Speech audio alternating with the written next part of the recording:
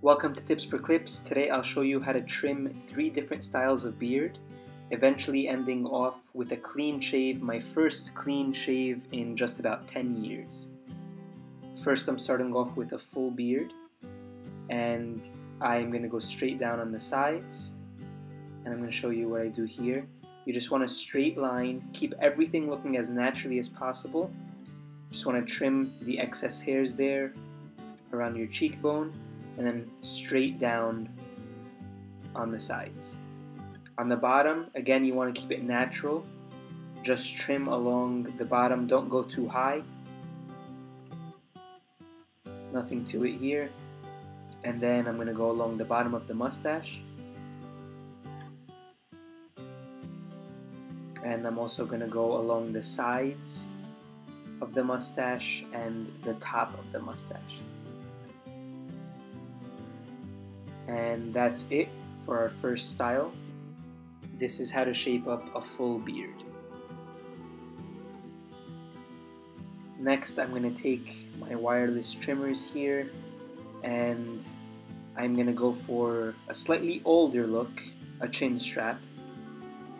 And I'm just going to go a little bit lower than where I did on my cheeks.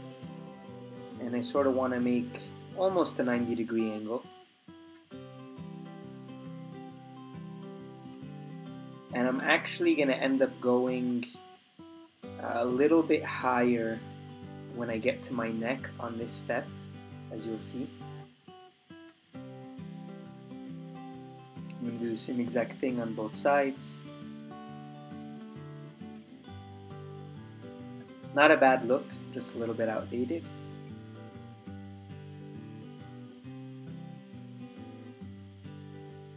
Then along the bottom I'm gonna go a little bit higher as I mentioned.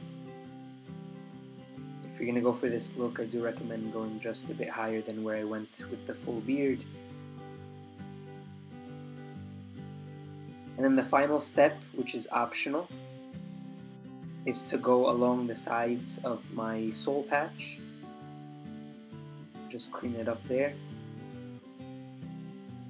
This is optional but it sometimes makes it look a little bit cleaner and neater.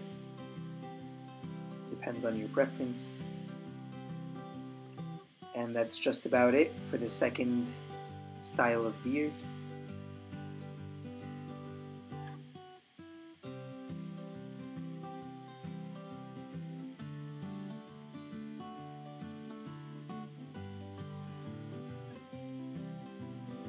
Third, and here I'm sort of just having a little bit of fun, dashing through my chin strap here.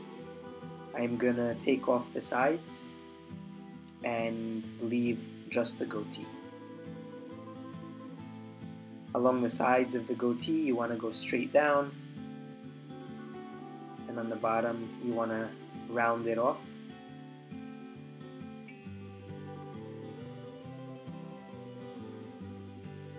Same thing on the other side. My sideburns, I choose to go a little bit lower than midway past my ear. And I'm going to do the same thing, go straight down along the side of the goatee. And as you're trimming your sideburns, make sure you get it as straight as you can horizontally. Sometimes it's deceiving. Uh, just look different angles and make sure it's nice and horizontal. Here I'm going to lighten up my goatee just a little bit. I recommend starting somewhere around a number 3 uh, and feeling how short you want it. My mustache grows a little bit thicker, so uh, I go with a smaller number, a lower number on my mustache. Maybe a 1 or a 2. Here I use the 1. But depending on how short you want it, I recommend starting with higher numbers and then going lower.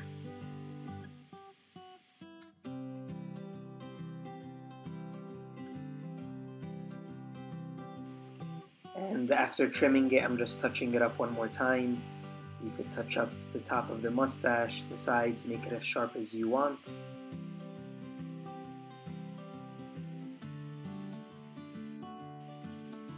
You can also touch up just a little bit more on the inside of the goatee, making sure that that line is straight and neat, as well as the soul patch.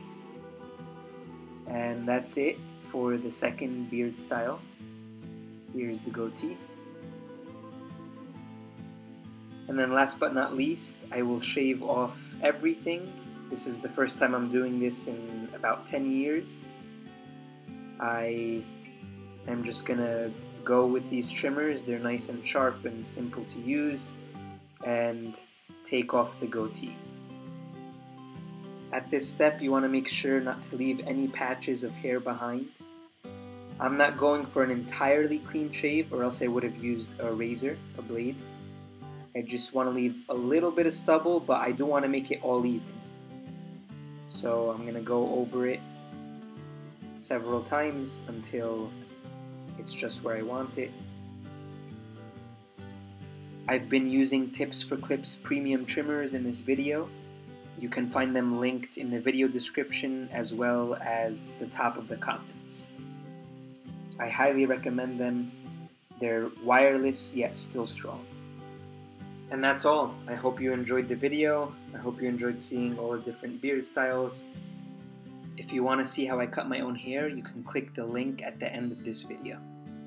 Here's a quick snapshot of all four styles. Thank you to all my followers, subscribers, all those who comment and like and share. Please continue to do so. Here are some of my other videos. Thank you for all the support.